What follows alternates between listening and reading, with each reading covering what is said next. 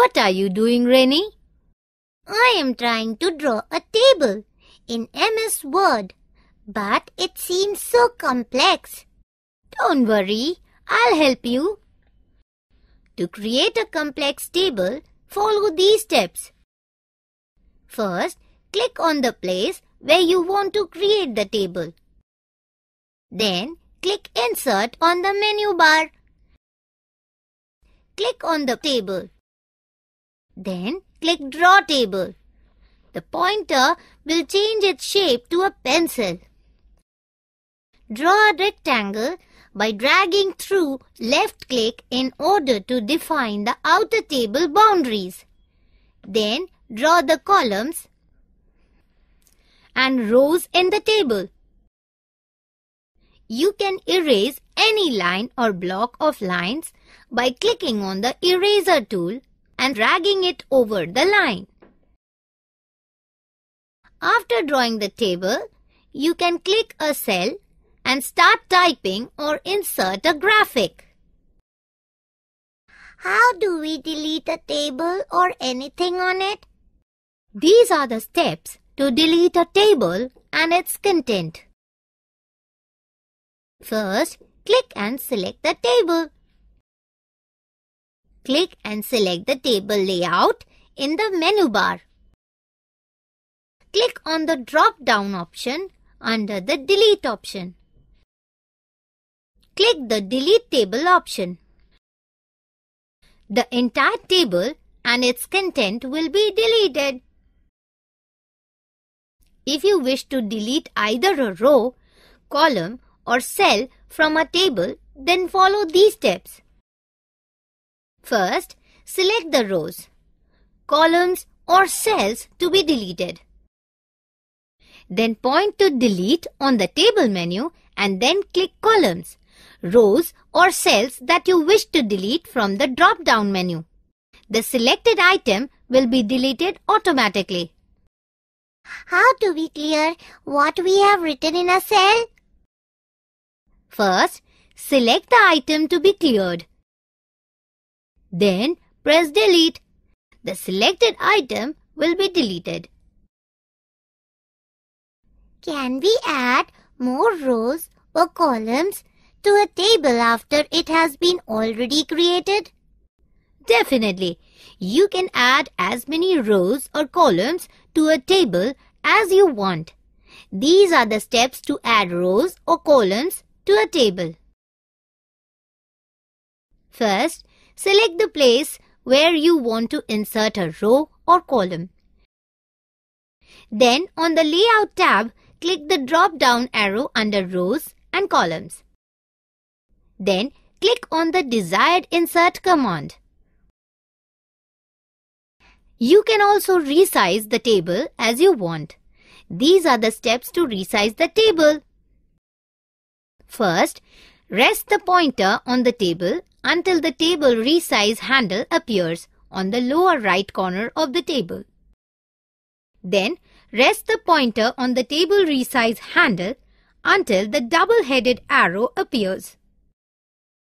Drag the table with the left click button till you get the desired size of your table. You can also increase or decrease the size of table. Can we merge two or more cells into one? Definitely. These are the steps to do it. First, click Eraser on the Design toolbar.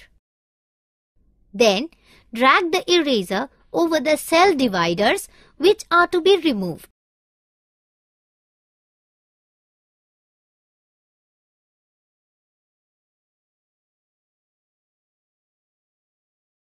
Our teacher said that you can also format a table after creating it.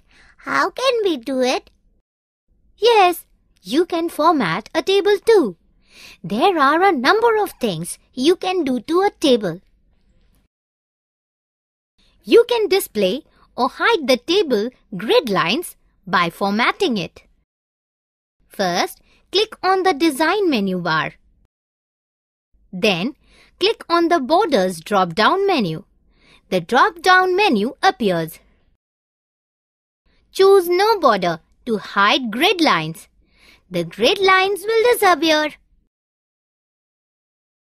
You can also position the table anywhere in the page by these steps.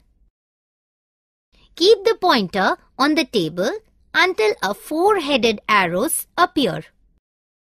Drag the table by clicking the left mouse button to the required location in the page and then release the mouse button.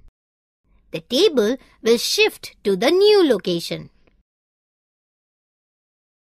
The table is set at a default tab and indent.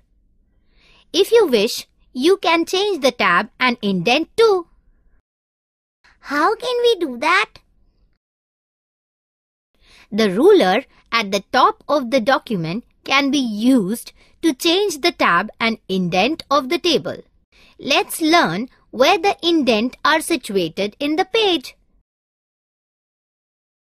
First, line indent. It is the marker with the downward arrow near the left edge of the ruler. Hanging indent. It is the marker with the upward arrow near the left edge of the ruler. Left indent. It is the marker with an upward arrow near the left edge of the ruler. Right indent. It is the marker with an upward arrow on the right edge of the ruler. Let us now look at how we can create a first line indent. First, select the paragraph to be indented. Then, on the horizontal ruler, move the first line indent marker to the position where you want the text to start. To create a hanging indent, First, select the paragraph to be indented. Then, on the horizontal ruler, move the hanging indent marker to your desired position, where you want the indent to start. To create a negative indent, first, select the paragraph you want to outdent or extend into the left margin. On the horizontal ruler, move the left indent marker to your desired position where you want the paragraph to start. You can also increase or decrease the left indent of a paragraph. To decrease the left indent of a paragraph, first select the paragraph you would like to change. Then click Decrease Indent on the Formatting toolbar. Word will decrease the indent by one tab stop. To increase the left indent of a paragraph, first select the paragraph you would like to change. Then click Increase Indent on the Formatting toolbar. Word will increase the indent by one tab stop. Remy, do you know how you can merge mails in MS Word? Mm, no idea, Kliko. Mail Merge is a mass mailing facility that takes names, address, and pertinent facts that recipients and merges the information into a form of letter or other such basic document. These are the steps for a simple mail merge.